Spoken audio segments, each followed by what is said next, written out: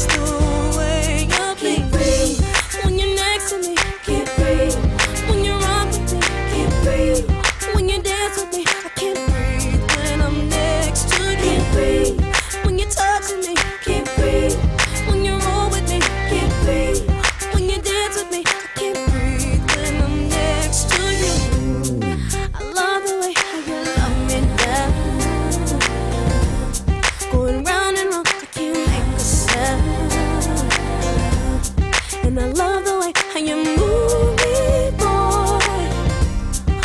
out of control, and I don't know what to do.